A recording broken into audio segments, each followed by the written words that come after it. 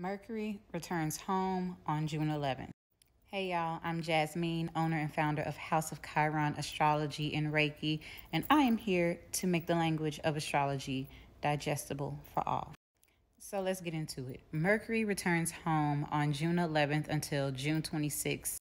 Mercury is the ruler of Gemini, so it returns home. When a sign is at home, it is very comfortable, it is in its natural element, it is where it operates at its best. Mercury rules both Gemini and Virgo.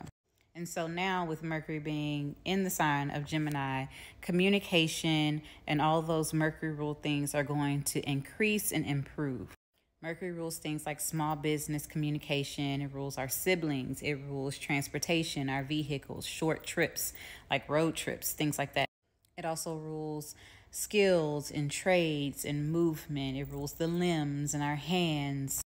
Mercury is also the ruler of our nervous system. So um, we might have clear thinking, but also we are encouraged to tap into our nervous system so that way we are not increasing anxiety. However, our ideas become more clear and we have more ideas coming to the surface. Our communication becomes that much more sharper. But Mercury is going to square Saturn, that is in Pisces. This is going to challenge any delusions and miscommunications that have been coming out or that has been going on in our personal lives.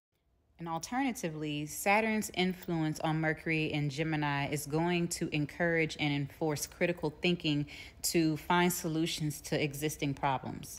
Also, that's going to help you see through things a little bit more clearly.